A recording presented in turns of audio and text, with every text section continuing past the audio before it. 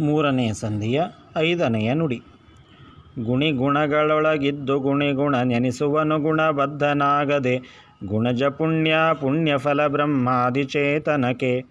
ಉಣಿಸುತ್ತವರೊಳಗಿದ್ದು ವೃಜನಾರ್ಧನ ಚಿದಾನಂದೈಕ ದೇಹನು. ಕೊನೆಗೆ ಸುಚರಾಚರ ಜಗದ್ಭುಕ ವಿನಿಪನವ್ಯಯನು.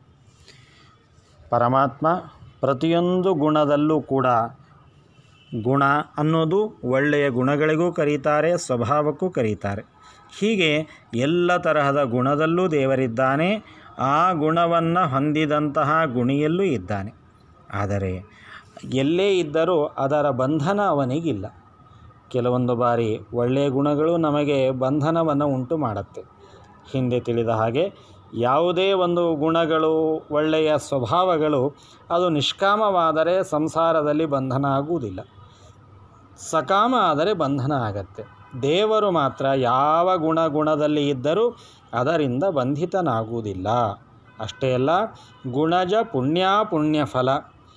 ನಮ್ಮಲ್ಲಿ ಯಾವುದೋ ತರಹದ ಒಳ್ಳೆಯ ಮಾತುಗಾರಿಕೆ ಇದೆ. ಅದರಿಂದ ದೇವರ ಸ್ತೋತ್ರವನ್ನು ಮಾಡಿದಾಗ ಪುಣ್ಯ ಬಂತು.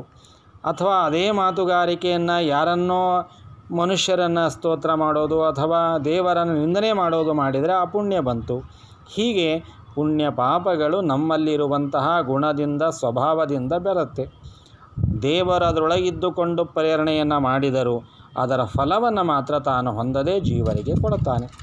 ಹೀಗೆ ಭಗವಂತ ಒಳಗೆ ನಿಂತುಕೊಂಡು ನಮ್ಮಿಂದ ಆ ತರಹದ ಸಾಧನೆಯನ್ನು ಮಾಡಿಸಿ ಉಣಿಸುತ್ತ ಅವರೊಳಗಿದ್ದು, ಆ ಎಲ್ಲ ತರಹದ ಕರ್ಮದ ಫಲವನ್ನು ತಾನು ನಮ್ಮೊಳಗೆ ನಿಂತುಕೊಂಡು ಉಣಿಸ್ತಾನೆ, ಭೋಗವನ್ನು ನೀಡ್ತಾನೆ. ನೀಡೋಬೇಕಾದಾಗ ಅದರಿಂದ ಬರುವ ಯಾವ ತರಹದ ಪಾಪಗಳಿಗೆ ತಾನು ಲೇಪ ಮಾಡಿಕೊಳ್ಳೋದಿಲ್ಲ. ಮಾಡಿಕೊಳ್ಳೋದಿಲ್ಲ ಅಷ್ಟೇ ಅಲ್ಲ, ಅವನನ್ನು ನಂಬಿದವರಿಗೆ, ಅವನ ಮೇಲೆ ವಿಶ್ವಾಸ ಇಟ್ಟವರಿಗೆ ಅದರ ಪರಿಹಾರವನ್ನೂ ಮಾಡ್ತಾನೆ. ವರ್ಜಿನಾರ್ಧನ ಪಾಪವನ್ನು ನಾಶ ಮಾಡುವನು. ಯಾಕೆ ದೇವರಿಗೆ ಪಾಪ ಅಂಟೋದಿಲ್ಲ? ಅಂದರೆ ಯಾವ ವ್ಯಕ್ತಿ ಯಾವುದನ್ನು ತಡೆಯುವ ಶಕ್ತಿ ಇದೆ, ಅವನಿಗೆ ಸಹಜವಾಗಿ ಅದು ಅಂಟೋದೇ ಇಲ್ಲ. ಇವತ್ತು ಜಲಸ್ತಂಭ ವಿದ್ಯೆ, ಅಗ್ನಿಸ್ತಂಭ ವಿದ್ಯೆ ಅಂತ ಕೇಳ್ತೇವೆ ಅಗ್ನಿ ಒಳಗಿದ್ದರೂ ಅಗ್ನಿಯ ತಾಪವನ್ನು ತಡೆಯಬಲ್ಲ ಶಕ್ತಿಯವರಿಗುಂಟು. ಹಾಗೆಯೇ ಎಲ್ಲೇ ಇದ್ದರೂ ಪಾಪವನ್ನು ತಡೆಯಬಲ್ಲ ಶಕ್ತಿ ಇದೆ. ಅದೇ ಚಿದಾನಂದೈಕ ದೇಹನು. ಯಾವಾಗಲೂ ಆನಂದ ಸ್ವರೂಪಿಯಾದವನಿಗೆ ಎಲ್ಲಿಯ ದುಃಖ? ಯಾವಾಗಲೂ ಜ್ಞಾನಸ್ವರೂಪಿಯಾದವನಿಗೆ ಎಲ್ಲಿಯ ಅಜ್ಞಾನ? ಹಾಗಾಗಿ ಅವನಿಗೆ ಯಾವ ತರಹದ ದೋಷದ ಲೇಪವೂ ಆಗೋದಿಲ್ಲ ಜೊತೆಗೆ ಭಗವಂತ ಪ್ರಳಯ ಕಾಲದಲ್ಲಿ ಸಚರಾಚರ ಜಗದ್ಭುಕ. ಎಲ್ಲ ತರಹದ ಜೀವ ಜಡ ಪ್ರಪಂಚವನ್ನು ತಾನೆಲ್ಲವನ್ನು ಹೊಟ್ಟೆಯಲ್ಲಿ ಹಾಕಿಕೊಳ್ಳುತ್ತಾನೆ. ಎಲ್ಲದಕ್ಕೂ ನಾಶ ಉಂಟು, ಆದರೆ ತಾನು ಮಾತ್ರ ನಾಶ ಆಗುವುದಿಲ್ಲ.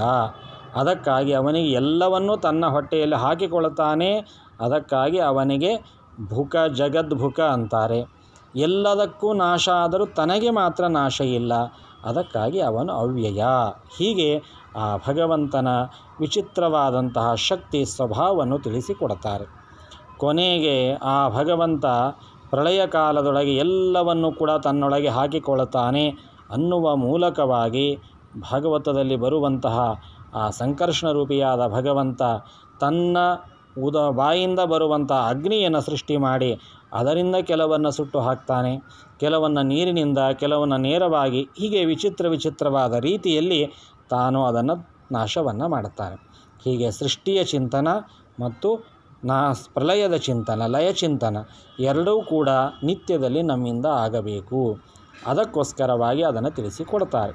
ಯಾರು ಭಗವಂತನ ಲಯಚಿಂತನವನ್ನು ಸರಿಯಾಗಿ ಮಾಡ್ತಾರೋ ಅಂಥವರಿಗೂ ಕೂಡ ತಮ್ಮ ತಮ್ಮ ಯೋಗ್ಯತಾನುಸಾರವಾಗಿ ಅವ್ಯಯತ್ವವನ್ನು ನಾಶರಹಿತವಾಗುವ ಶಕ್ತಿಯನ್ನು ದೇವರು ಕೊಡ್ತಾನೆ ಹೀಗೆ ಭಗವಂತ ಸೃಷ್ಟಿಯ ಆದಿಯಲ್ಲೂ ಇದ್ದಾನೆ, ಲಯದ ನಂತರದಲ್ಲೂ ಇದ್ದಾನೆ. ಪ್ರತಿಯೊಬ್ಬ ಜೀವರಲ್ಲಿ, ಪ್ರತಿಯೊಂದು ಪದಾರ್ಥದಲ್ಲಿ, ಪ್ರತಿಯೊಂದು ಗುಣದಲ್ಲಿ, ಪ್ರತಿಯೊಂದು ಗುಣಿಯಲ್ಲಿ ಎಲ್ಲದರಲ್ಲೂ ವ್ಯಾಪಿಸಿಕೊಂಡಿರುವಂತಹ ವ್ಯಕ್ತಿ ಆ ಪರಮಾತ್ಮ.